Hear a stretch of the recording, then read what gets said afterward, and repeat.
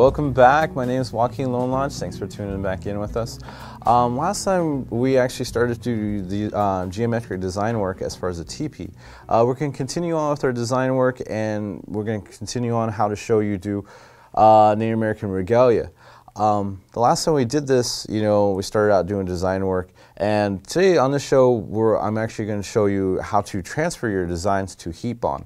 Now, Heatbond you can find at most Walmarts, Hobby Lobbies, Joann's Fabrics. Um, there are actually two types of Heatbonds. There's actually a Heatbond Heavy and a Heatbond Light. Um, preferably, I like to use the heavy. I like to, a little bit of the stiffness with my material. Um, but if you're going to actually uh, stack material onto material, it's preferably that you would actually use the heat bond Light. Reason I'm saying is that the Heatbond heavy, after a while, it'll start to gunk up your needles, and after a time period, it'll actually be harder to sew on because the material is more stiffer. Um, so if you want to go with the light, uh, it's better for bigger designs. As far as this piece here, uh, when I talk about stacking, what I'm talking about is interlaying uh, material on top of material. Um, as you see, this one actually has uh, a lot of different pieces on it, and every different color is actually a different, uh, different piece of material. Um, you'll see that uh, the darker brown is um, the body of this buffalo uh, is actually um, right below this material on top of this. So that's what I'm talking about, stacking. So in these pieces here, I use a lot of actual Heatbond uh, light. Um, only thing is working with broadcloth, it is kind of hard to actually get your glue on there. So on the bottom pieces, I use uh, Heatbond heavy. Uh, but on these other topper pieces, that's when I use the heat bond light. Okay, and continuing on, once you start to learn with uh, Heatbond, you'll also uh, start to learn about the materials that you're working with. Um, I preferably like to work with satins. Um, this one, actually, if you look at the buffalo, is actually a felt material, which is really cool because I thought when uh, when I found this, I thought to use this material would be perfect because the felt actually almost looks like actually buffalo hair in a way. So I, I, found this one and I also found this one at the same time. So I bought a bunch of both of this and it, um, the design came out where I wanted to. Makes it kind of more realistic. Um, the other thing that uh, you'll learn working with uh, material is you'll learn uh, your temperatures. Uh, some uh, materials are very delicate and the higher the temperature, the, the um, more vulnerable they are to heat. And me, you know, growing, actually doing like a design work, I've learned in the past uh, to watch your temperature because you can burn right through the material itself and pretty much you just wasted all the material. Now to recap, last week we, we started doing our design work and I showed you actually how to trace the designs and um, to do the measurements of a geometric teepee. It's one of the easiest designs I know. Um, pretty simple. Uh, like I said, you don't have to actually be like artistic to actually do this design. Um, this one, very simple. Um, what we have here, you know, we have the top of the teepee, we have the outer part of the teepee, and we started doing some internal design work. Um, let me pull this out to the side so you, can, guys can see this. Um, we have another teepee and actually the other bases of it. Uh, we're going to continue on with this. I'm going to start doing a little bit more design work to make it more detailed. And from there, we're going to actually transfer onto our Heatbond. And if we get enough time, we're going to transfer it onto the material. Uh, with that said, uh, let's recap on actually how we did our design work. Um, when we first started out with this, this TP, um, like I said, you know, the most easiest part is actually this is just a rectangle. What we'll do is actually chop it up internally. So if you can see our rectangle, eh, you just take your pieces here, and that's how we started off with our geometric teepee. And from there, what we did is we made uh, duplicates of this, uh, this uh, centerpiece and chopped it up and then we made uh, a duplicate of this piece and then we chopped it up, make it a smaller piece and continue on, continue on, and continue on. Uh, from here, let's see, the TP with the inner like design work should look something like this. And we fold these up real quick. Just like so. Now, once we start to sew this, usually what I like to do is I'll have all my pieces cut out um, after we transfer the Heatbond onto the material. Um, and the cool part about Heatbond is, you know, you can do just about any design you want. Uh, preferably that, you know, this allows you to uh, pretty much trace anything you want um, once you actually uh, use the adhesive onto the material, uh, you have to let it cool. Usually, give it probably like a couple minutes. Um, if usually when I'm working, um, I let it cool for like probably 30 seconds because I'm working really fast. But I don't like to use uh, um, uh, when it's really hot because it can burn your fingers, and I've burnt my fingers many times using it. You know, there are many, many late nights I've actually spent working with heat bond and working with design work. And once you start doing design work and actually sewing, you know, you'll be burning midnight oil like I have. You know, trying to rush around right before powwows actually to finish up an outfit. Um, you know, HeatBond is is awesome, and the crazy part, you know, if I hate to say it, you know, I've actually seen people that will actually just HeatBond material if they're really in a rush and not even sew it and tack it down. Usually that'll last for about a good day. I mean, it's not recommended by my standards anyway. But, you know, I have done, you know, like some design work where for myself that, you know, I've just HeatBonded it and, you know, went to the powwow, danced for a little bit, and when I got back to my hotel room, I started sewing it up so I could actually tack it down. Um, it'll last for a little bit. It's kind of like a band-aid, but I would never recommend it to continue on with your work. It's just kind of like a little thought. Now I have used other materials and other um, adhesives. Uh, there's one that I've kind of used before. It kind of has a backing with a, uh, I kind of would say like a uh, felt material. Um, I, have used that and I used to use that in the beginning of my work. I don't really recommend it because the sharp edges really don't come out as fluent as you can with HeatBond. Um, plus, there's always that kind of felt background, and when you start to stack material, it just it adds another piece of material into your equation, which doesn't really correlate when um, when you try to sew it down. It kind of comes out a little bumpy, and sometimes it'll throw your needle off. And some, when you actually do sew, it will um, kind of the the sewing stitch won't actually come out fluent as far as um, when you do work with heat bond.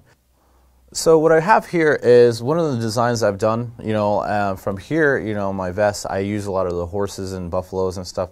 And to kind of give you a good idea of how uh, HeatBond works, I have like one of the extra horses that I do have. Um, a lot of the times I like to cut out a lot of designs. Um, say if I work with a lot of horses, what I'll do is um, using my HeatBond, I'll draw so many horses, you know, 10 to 20 at a time. And it's just like on my spare time, I'll just sit there, watch TV, and trace out horses. Because, you know, if I ever have to re like recap and actually go back and need a horse, you know, I've already got one drawn out. Because once you start using this and transferring your design, it is kind of time consuming. And I just find it really easy to actually already have it on hand.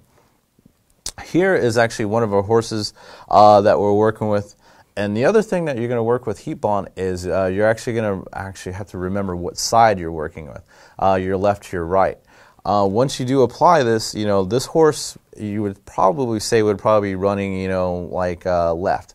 Um, if you do a design that encompasses left and right, you'll actually have to remember like to heat bond it on the right side. Because once you have the glue on there, it'll come back on the left side. And you'll kind of understand what I'm meaning once you start doing your design work because it'll come out backwards. And you're like, all right, now I know what he's talking about. And sometimes I have to do my design work backwards to actually get it to see where I want it to. So going with this, um, you can see on my, on my piece here, I have several horses on here. And the way I've got it to actually sit is um, these ones are different places, and I like to do this one sporadically. Um, this one being my ledger work, uh, this kind of a newer style that I, I kind of started doing. Um, this one, you know, as far as placement, I kind of just place this randomly. There's not really a set place for all these people and all these horses and all like uh, the buffalo. This re really, you know, what I'm trying to do is actually uh, do a picture of something that happened a long time ago. But um, what we usually do for these horses, what I have is like, uh, you know, I have my extra horse here. And say, you know, if I wanted to add it to a certain place, you know, I'd find a good spot where I want it to. And this one has already been HeatBond and already been cut out. As you can see, you know, like it's really stiff. And sometimes uh, when you do HeatBond, um, you'll, this is another thing I kind of forgot to mention, that uh, sometimes you will get air gaps and air bubbles in these materials. Um, what you'll need to do, and it's real simple to do, is kind of turn your, uh, your iron a little bit hotter and try to iron it a little bit more and gradually you'll gradually push the air bubble out of the material and, and that's the way um, your material will be perfectly flat.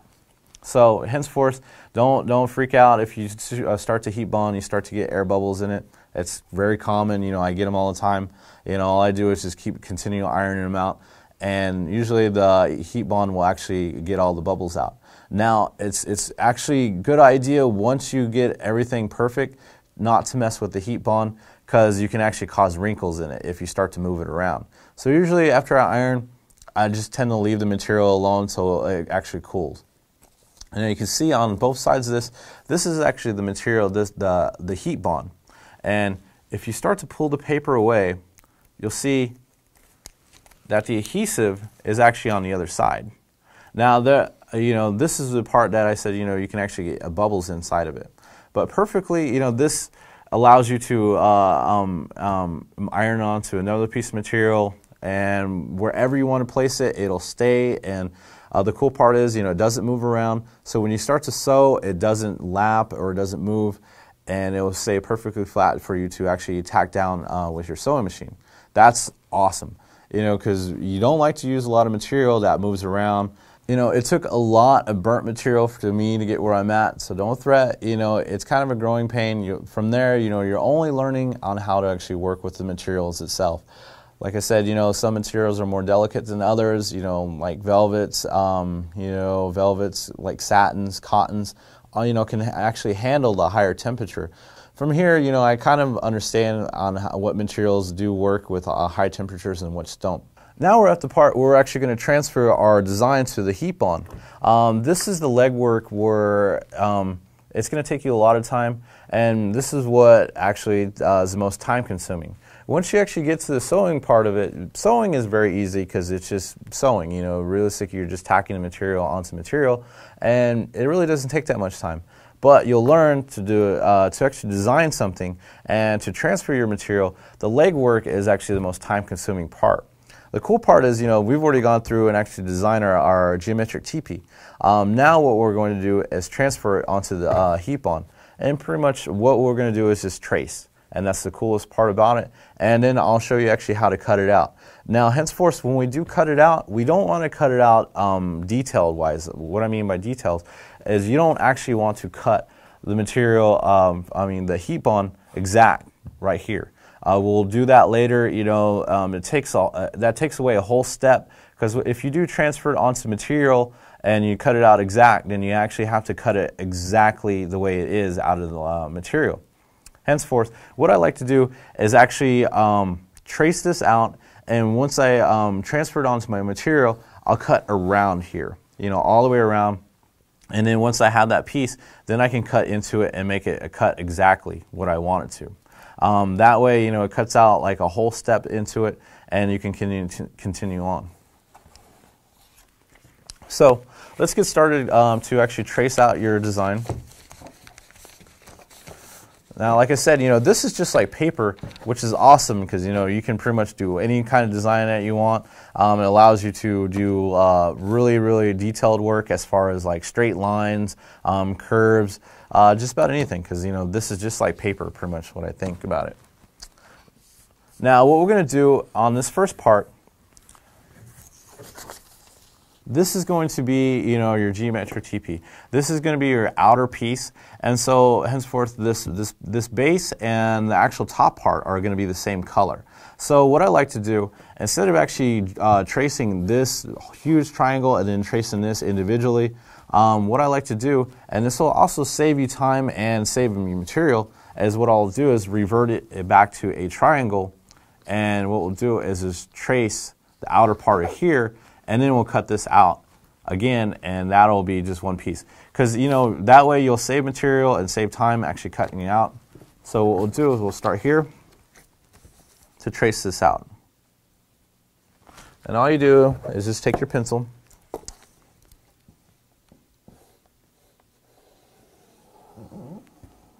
Trace up. And you don't have to be perfect you know like like sometimes you'll see a lot of my, um, my, a lot of my templates. You'll see runoffs and stuff like that, and that's cool because you know this is just your template. This is your own work. You know you don't have to worry about it. You know because you know you can mess these things up. And like I said, you know, like a lot of times I'll like to masking tape this so I can use them again and again. And a lot of my pieces, you know, they'll have runoffs and stuff like that. But this will always come out perfect, and that's the cool part about it. You know, these templates, you know, these are kind of your workhorses of it. Like I said, to save time, what we're going to do is actually just take this on top of here and then trace on top. This will cut our design just in two. So, henceforth, we got our outer design um, already um, transferred onto the heat bond. And like I said, you know, what we're going to do is when we do cut, we're actually going to cut around. So what I'll do is instead of cutting in like detailed wise here, here, here, we're just going to cut this out around. And that saves us a whole step because what we'd have to do is if you cut this exactly out and transfer it onto the material, then you actually have to cut again exactly out.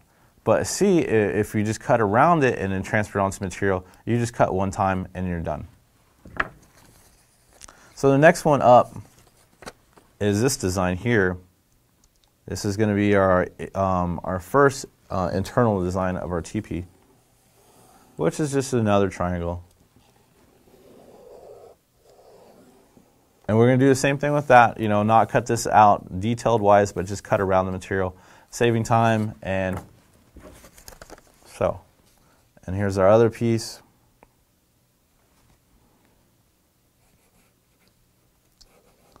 Here's our steps.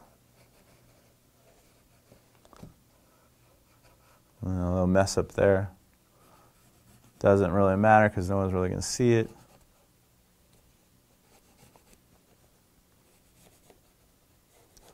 And we're done. And one final one. We'll just use this one. Sometimes I like to change sides, and that way, you know, I don't you know, really. Um, I like to save a lot of my heat bond. And I always work with the, the outer side because, you know, this is a straight corner and, you know, you really don't have to measure it. Sometimes when I do cut, as you can see, like right here, you know, it's not really flush and it's not very um, perfect. But, you know, you can always understand that, you know, this very edge is always going to be perfect. So I don't really have to rely on that. So.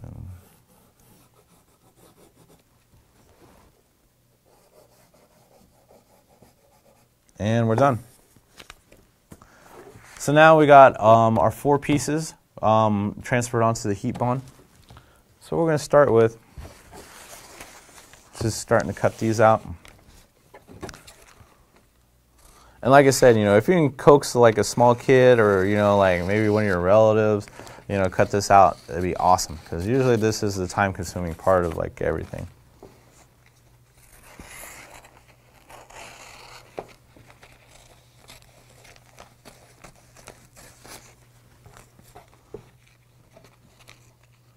A lot of my nieces and nephews know not to come over to my house because I usually put them to work. And they don't really find this fun. I usually, hey, yeah, this is real fun. And usually they learn that it's not really fun after a while. They're like, when can I quit? And I'm like, I'm not done yet. But, all right. So we got our pieces here.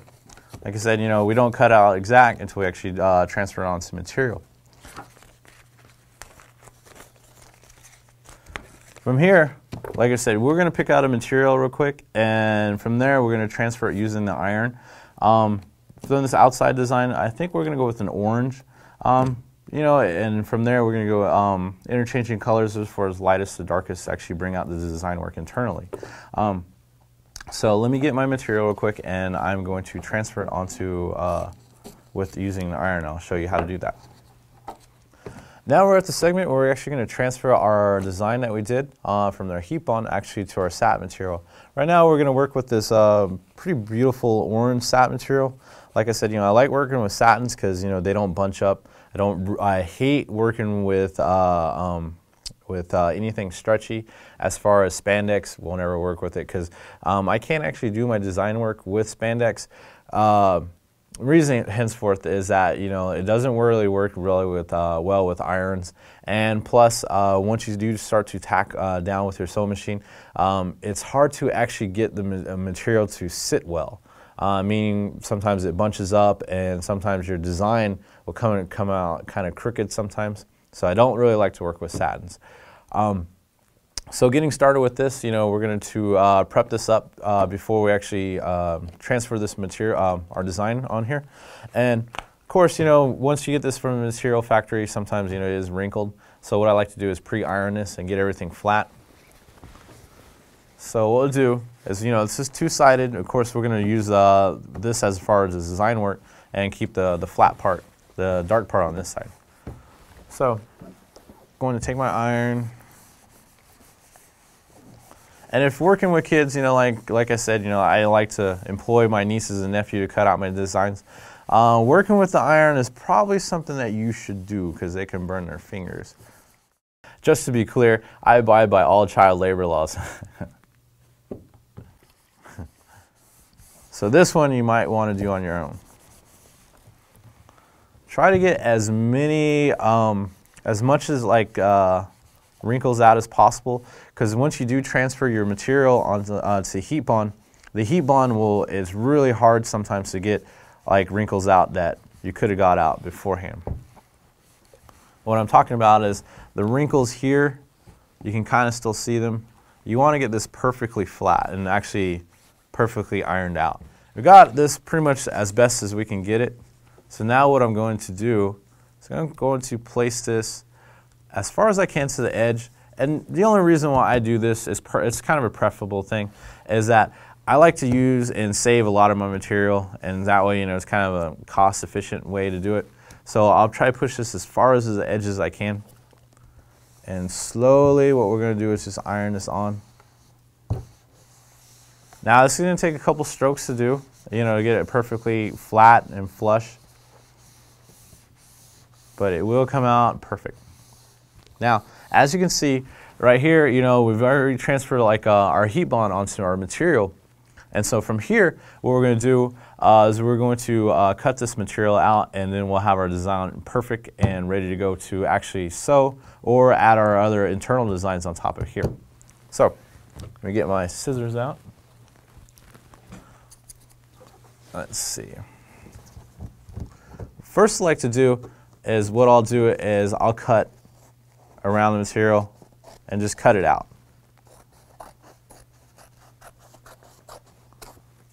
This allows me to actually get more detail when I do do my cut, and plus, you know, I don't have to worry about this. Usually working with this, you know, you want to get, you don't want to cut it out detailed here because it's kind of hard to work around this material if you're working with a lot of it. So now that we've actually singled this material out, it's a whole lot easier to cut out. And we just pretty much just follow like our tack marks that we drew out. Cut there, there. And this is what I'm talking about using heat bond because you know it allows you to cut your designs out perfectly. And if you see like, you know, the edges are very, very sharp. You know, there's no rough edges, there's no rounded or, you know, it's very exact. And there we go. Now, usually what I'll do is I'll turn this over and I'll kind of like inspect my material. Look for any, you know, creases, like we have some here, you know, a couple creases there. Not really too many heat, um, heat bond bubbles, so that's a good thing.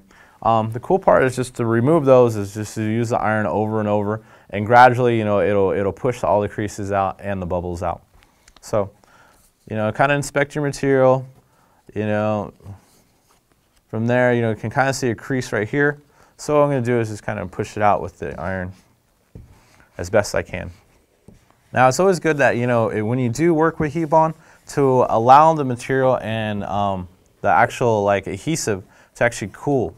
You don't want to move it around too much, you know, once you do iron it. Usually I like to just push it over to the side because if you do pick it up, you know, you can bow it or, you know, like just the actual motion of it uh, will actually cause creases too and then you'll have to re-iron it over and over again. So let it sit for a little bit, let it cool, and then you can start working with it. But pretty much this is uh, how we're going to do like all our other pieces. We're going to, um, all our internal designs right here, we're going to actually transfer um, uh, our um, uh, heat bond onto here, and then we're going to actually pull the adhesive off, um, well the paper side, and actually stack it onto our material. So now we got our design, you know, transferred over uh, worked around with our heat bond. Um, like I said, you know, once we do iron it, I like to let it sit for a minute because uh, I don't like to pick it up because sometimes when you do transfer it, it will cause uh, to actually um, have like little gaps in there or have little lines and stuff. Or the, sometimes the material will just shape out funk, uh, kind of funky. So I like to let it sit for a minute, let it cool. Um, once again, you know, after I do that, I inspect it again, make sure I got all the bubbles out and whatnot. But uh, from here, we're pretty much going to do the exact same thing with the other materials, the internal designs for the uh, geometric teepee. Um, from there, I'm going to uh, correlate lightest to darkest colors to try to give a little bit of flow as far as our color scheme. Um, but we're going to get into that on our next show. Um, once again, you know, um, thank you for uh, tuning in. My name is Juaquin Lonelodge, and can't wait to have you again. Um, see how like uh, this design is going to come out. Thanks again.